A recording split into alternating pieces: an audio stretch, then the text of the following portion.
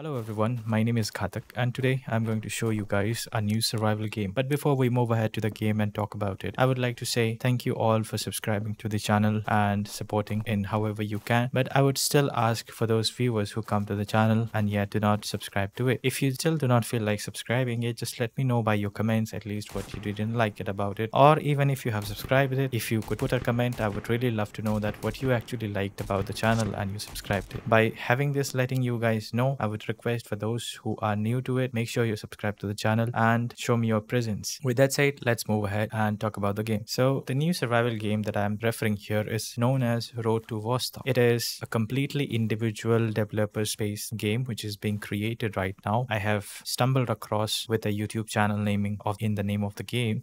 So found out a couple of videos in reference which you can see in this video. It is uh, basically a hardcore single player survival game. Story is set in post apocalyptic border zone between Finland and Russia, where you have to cross actually to a place called Vostok. Okay? The game would offer you tactics based on survival, planning your route across the border zone, how to enter the Vostok, and you know giving you all sort of loot opportunities in in in that way and in terms of survival we are offered with uh, some hardcore survival experiences giving us some realistic uh, weapon mechanics almost you can collect your memories back from like escape from tarkov in a way and can also connect your uh, instincts with the game called DayZ.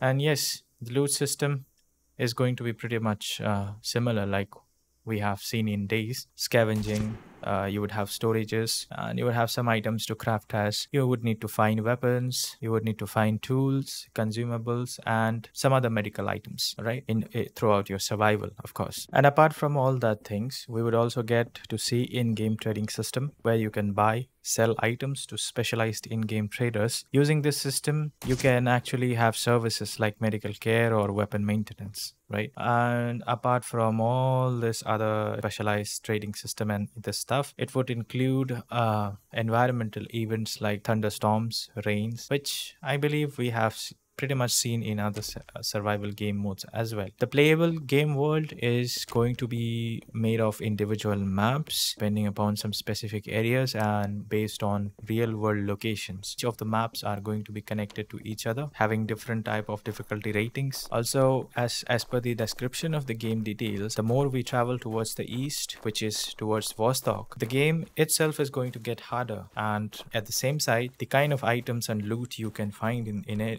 in the game is going to get better. That's what the game description so far has stated. And uh, this is, as per the looks of it, I can say this is mostly going to be an AI versus a single player mode so far. There would be places known as shelters, which is basically going to be your safe house or safe zones, you can call it, where you can store your looted items in the game. And these shelters are also going to be different in terms of their sizes and you, know, you would be able to customize it. So in terms of customizations as well, it is going to be different. Although once we cross to Vostok, in case we die, we will lose all the access to our saved files, including the shelters. Now, this is all what I could fathom so far uh, about the game in terms of uh, description, the mechanics, how it is going to be. So, if you really uh, want to know more about this game, I would leave the channel's link where I found this game about. Also, some specific uh, reviewers who have view about this game in much better way than me. You can check out their videos, their uh, channel as well. I got fascinated seeing the overall looks of the game. So just let me know your opinions. How have you felt about this game in terms of general impressions through the looks of it? Thank you for watching and I hope all of you are doing good. Take care of yourself, keep a good health and thank you for watching this video again.